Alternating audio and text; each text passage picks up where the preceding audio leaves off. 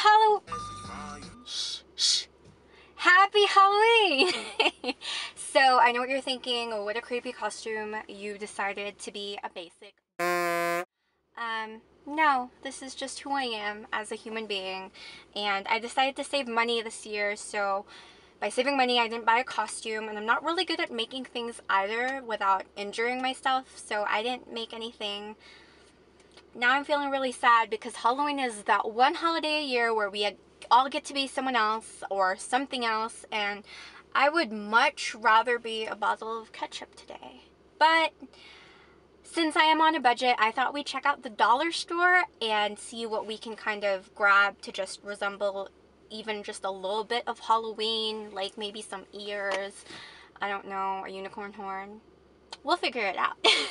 so we'll stop by the dollar store and then we'll head straight to the strip and do the style on the strip. Um, yeah, I love the creativity involved in this holiday. A lot of people do make their own costumes without killing themselves. So I can't wait to see all of that. Let's go check it out after we get our cheap costume. Yay! Okay, let's go.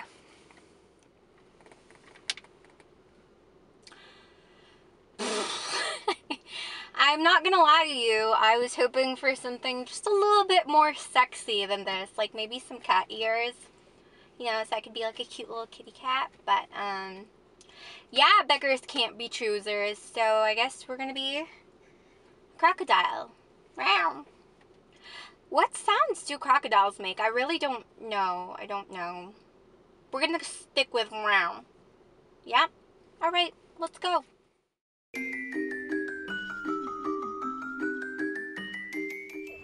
I just got to the Venetian and so far people are a lot nicer to crocodiles than they are to other human beings.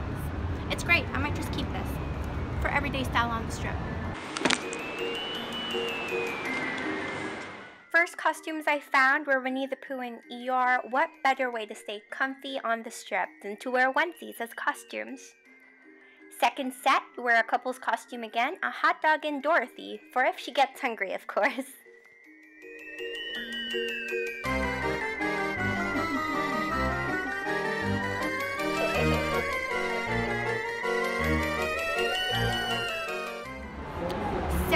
I've taken photos of mostly couples in costumes today and that's really awesome to me because it shows that, you know, these people really plan it out and, you know, they kind of do it as a team.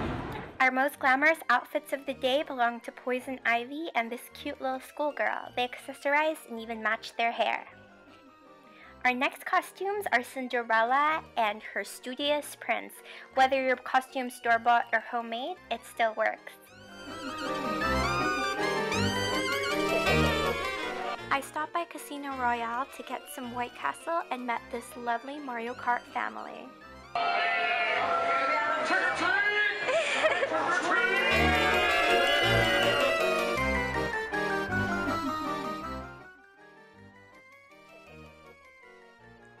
Best Halloween spirit goes to these ladies. It's so cute how they accessorized with stripy socks and their own clothes.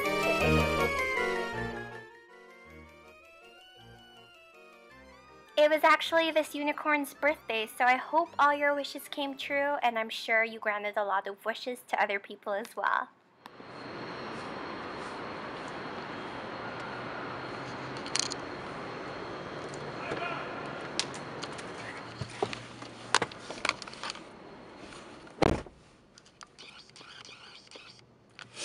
So there you have it guys. I hope you enjoyed roaming around the Las Vegas Strip on Halloween with me and I hope you guys like the costumes.